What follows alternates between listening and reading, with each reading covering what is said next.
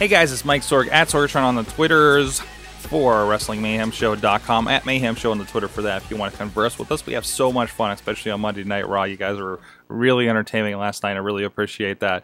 Um, so big shouts to everybody involved with that. But of course, please check out our friends IndieWrestling.us. Uh, we got pre-orders for the DVD of Night of Superstars 4, including Hall of Famers like Ric Flair, Kevin Nash, a tremendous match with DJ Zema Ion from TNA against um, I keep calling Evan Bourne Matt Sydal of Ring of Honor. It's, it's fine Evan on the Twitter, so I'm completely into it. Uh, he was also on the commentary. Uh, Mark Madden pops in on commentary towards some of those matches, and just a fun, fun night all up and down. Friends of the show involved, legends, so much more. So with that, I want to talk about WWE today. WWE. So I've promise I will try to never do that again. Um, but a big story coming out here uh, yesterday as I was scanning things during Raw, according to our friends over at WrestleZone. Uh, big update, more. Oh, this is the more details. I didn't even the first one I found. Holy crap! Uh, but Actually, this is the one I found, I believe. Uh, but no, a big update, more details. Uh, lawsuits filed by three former WWE stars. Most of it, it seems to be around the idea of a concussion lawsuit. It's actually a new class action lawsuit that all three of them are involved with. There's 47 pages long to this. Ryan Sakoda, and I haven't looked these up. I can't. I'm not entirely sure who these these guys are. Uh, well, one of them I do know. Um, he he, he, he says that uh, WWE runs by in- intimidation and abuse and does not discuss uh, or take concussions or or sim- does not discuss or treat concussions or symptoms. Um, he says that WWE's medical staff uh, told him not to go to sleep or he might die after taking a super kick that gave him a concussion. Um, he says that uh, WWE has disregarded the health and safety to the point that it left him traumatized.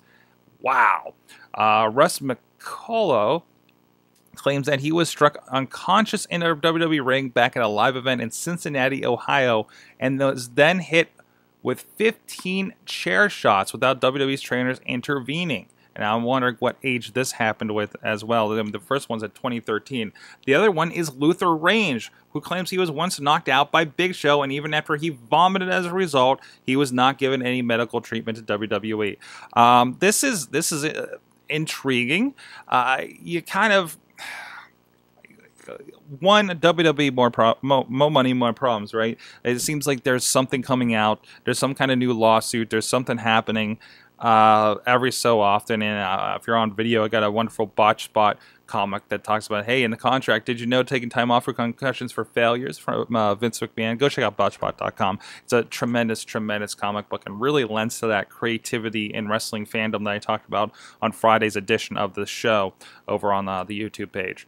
But um, I, WWE is certainly, this is a trend I, I think this is not just money grubbers, not just anything else. It is part of the conversation, and and people are coming out of the woodwork and say, "What I can do? What for concussion? I can actually get go after them for that." And it still remains to be seen what all you know uh, happens there.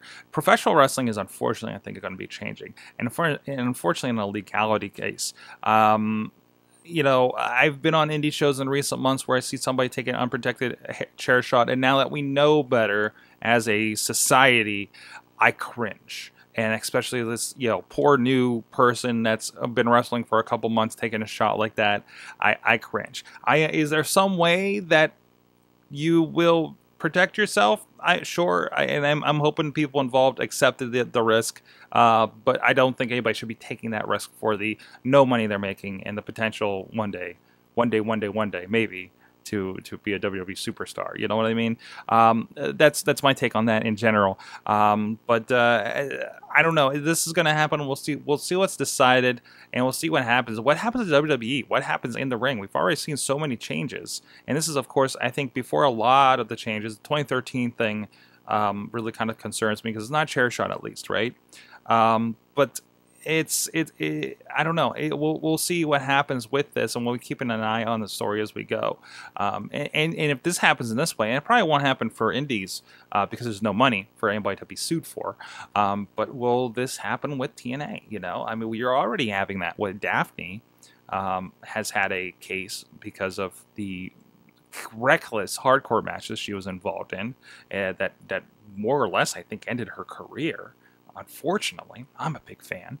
Um, so, what do you think of the concussion? Uh, the concussion lawsuit that's going on now, uh, kind of the trend of this uh, sort of thing, and so much more. Please let me know at Sorgatron on the Twitter. If you find this video on YouTube, Facebook, or WrestlingMayhemShow.com, leave a comment on your ideas about what's going on with this situation. And like I said, check out BossBot.com and check out WrestlingMayhemShow.com. Tonight on the Indie Mayhem Show, we'll have Ring of Honor's uh, Chris LaRusso and Vicious Outcast Wrestling's uh, former champion as well. PWX heavyweight champion. I know he was for a bit as uh, uh, added to that.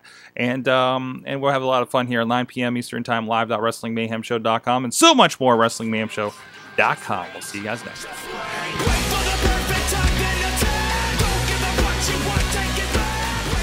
This show is a member of the Sorgatron Media Podcast Network. Find out more at sorgatronmedia.com.